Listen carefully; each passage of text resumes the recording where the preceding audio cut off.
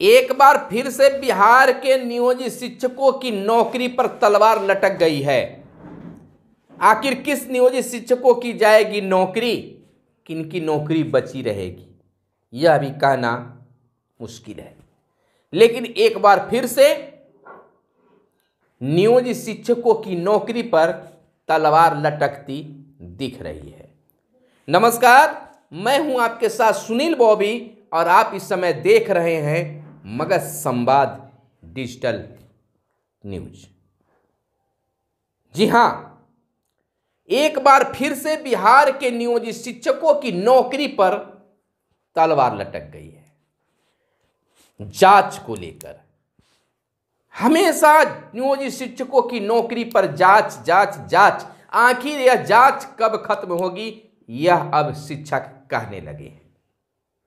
2003 से अब तक जाँच जाँच फोल्डर फ़ाइल जमा करो। जाँच होगी निगरानी के। वेबसाइट पर डालो। आखिर यह जाँच कब खत्म होगी? डर डर कर नौकरी की जा रही है। किसकी जाँच हो गई? किसकी जाँच बाकी है? यह भी कन्फर्म नहीं। आखिर बहत्तर हज़ार, पहले डेढ़ लाख उसके बाद एक लाख बीस हज़ार, फिर एक लाख, फिर नब्बे हज़ार, फिर पचासी हज़ार, और अब मामला आ गई है बहत्तर हज़ार तो आखिर डेढ़ लाख से बहत्तर हज़ार पर आने पर किनकी जाँच संपुष्ट हो गई है? क्लियर हो गई है, इस बात की भी नाम सामने आनी चाहिए। खैर, खबर जो है उस पर हम फोकस करते हैं कि बहत्तर हज़ार नियोजित शिक्षकों के फोल्डर नहीं मिले हैं। और बहुत सारे जिलों में शिक्षकों पर एफआईआर भी दर्ज की गई है। बिहार में नियोजित शिक्षकों और लाइब्रेरियन की बहाली में हुए फर्जीवाड़ा को लेकर जाँच जो है पिछले करीब नौ दस सालों से चल रही है, नौ सालों से चल रही है। बात अगर पटना हाई कोर्ट की कर ले तो पटना हाई कोर्ट के आदेश के बाद निगरानी ब्यूरो को यह मामला 2015 में सौंपी गई। इतने लंबे समय से चल रही देखिए 2015 में सौंपी गई। 15, 16, 17, 18, 19, 20, 21, 22, 23 अब 24 10 साल दसवां साल चल रहा है। फिर भी नौ साल पूरा हो गया दसवां साल चल रहा है। फिर भी निगरानी ब्यूरो से भी क्लियर नहीं हो पाया है।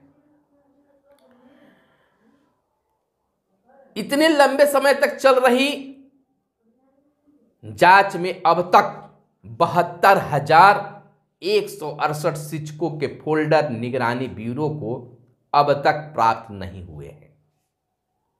इस मामले की जाँच को जल्द पूरी करने के लिए निगरानी ब्यूरो के स्तर पर कवायद अब और काफ़ी तेज हो गई है।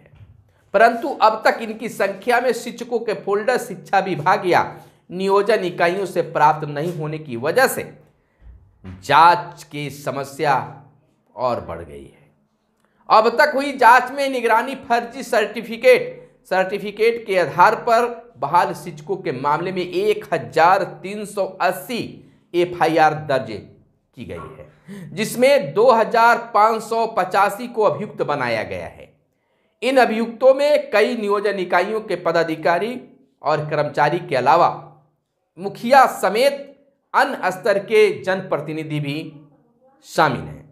शिक्षा विभाग के स्तर पर शिक्षकों के लापता, फोल्डरों को निगरानी को मुहैया कराने के लिए कई स्तर पर जिला से लेकर अन्य स्तर के पदाधिकारियों के साथ बैठक हो चुकी है।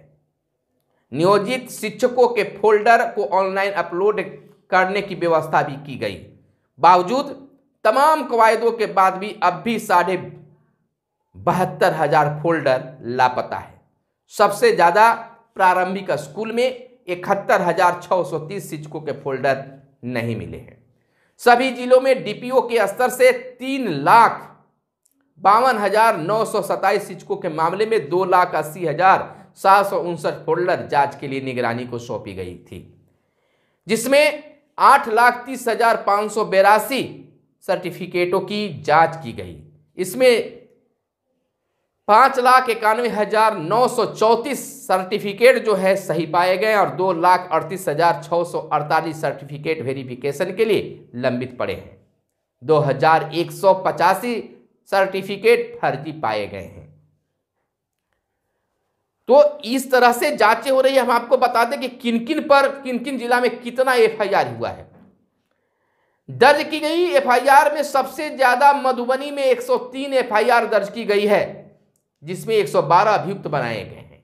इसके अलावा पूर्णिया में पचासी, नालंदा में उनासी, गया में इकहत्तर, सीतामढ़ी और गोपालगंज में साठ, जमुई में उनसठ, जहानाबाद में अड़तालीस, सारण एवं मुंगेर में चौवालीस पटना में 40 तो वहीं अगर बात बेगूसराय की कर ले तो बेगूसराय में 46 बांका एवं अरवल में सैतालीस, दरभंगा में उनचालीस, भोजपुर भोजपुर में 36 और बक्सर एवं मुजफ्फरपुर की अगर बात कर ले तो 35 समस्तीपुर में 38 तो रोहतास में 36 एफआईआर दर्ज की गई है। और एफ़ की तैयारी है। लेकिन इधर बिहार के नियोजित शिक्षकों का कहना कि हमारी क्या गलती है? हमें सर्टिफिकेट प्रमाण पत्र शैक्षणिक शैक्षणिक प्रमाण पत्र जब भी आप फोल्डर हमसे मांगा हमसे मांगा गया, हमने जमा किया, निगरानी के वेबसाइट पर जमा किया, फिर भी हमारे साथ बार बार फोल्डर गायब होने, जाँच करने की बातें क्यों?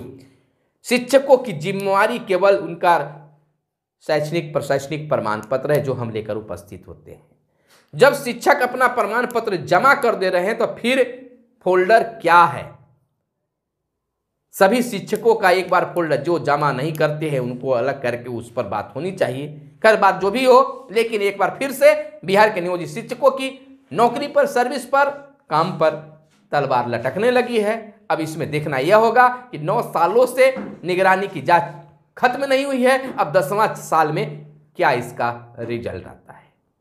लेकिन उम्मीद जताई जा रही है कि 2024 में यह मामला को जाँच कर समाप्त किया जाएगा और दोषियों पर कार्रवाई होगी। एफआईआर दर्ज होगी, उनकी नौकरी जाएगी। फ़िलहाल हमारे साथ बने रहिए, देखते रहिए मगध संवाद, डिजिटल प्लेटफॉर्म। धन्यवाद, जय हिंद, जय भारत, वंदे मातरम। जनता, नौजवान, जो बच्चे, जो पढ़ लिख रहे हैं उनकी सुविधा में इजाफा होगा।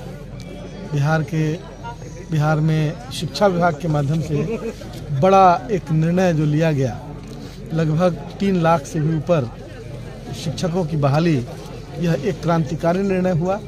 इसके लिए हम माननीय मुख्यमंत्री जी, पूर्व के माननीय मंत्री, प्रधान सचिव और माननीय उप मुख्यमंत्री सब लोग को मैं धन्यवाद देता हूँ। और बिहार की जनता ही नहीं, देश की जनता